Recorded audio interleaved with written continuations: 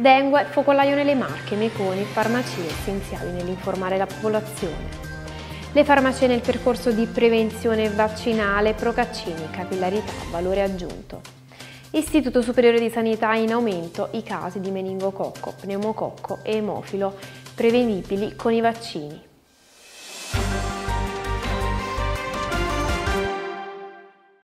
Buongiorno e ben trovati ad una nuova edizione del telegiornale di Feder Channel.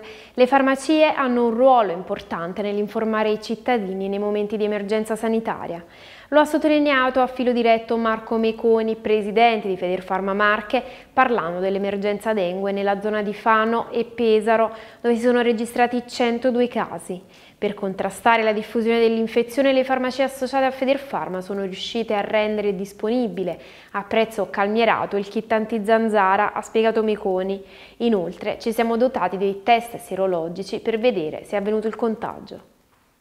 Le farmacie danno un importante contributo all'ampliamento della copertura vaccinale contro l'influenza e il Covid, confermandosi anello di congiunzione tra cittadini e Servizio Sanitario Nazionale. Lo ha affermato il vicepresidente di Federfarma Nazionale Alfredo Procaccini, intervenendo all'incontro valorizzare le farmacie dei servizi nel percorso di prevenzione vaccinale che si è tenuto a Roma.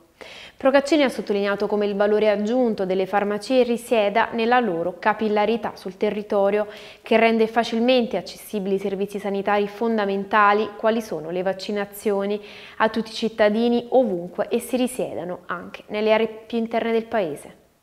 Nel biennio 2022-23 sono aumentate le segnalazioni dei casi di malattie batteriche invasive causate da meningococco e pneumococco e emofilo, tre infezioni in gran parte prevenibili con le vaccinazioni previste dal Piano Nazionale di Prevenzione Vaccinale. Il dato emerge dal rapporto della sorveglianza pubblicato dall'Istituto Superiore di Sanità che evidenzia il cambiamento di trend rispetto alla diminuzione del numero di segnalazioni per i tre patogeni registrata nel biennio 2020-21. Questa era la nostra ultima notizia, grazie per averci seguito, l'appuntamento è per domani con una nuova edizione del telegiornale di Feder Pharma Channel. Buona giornata!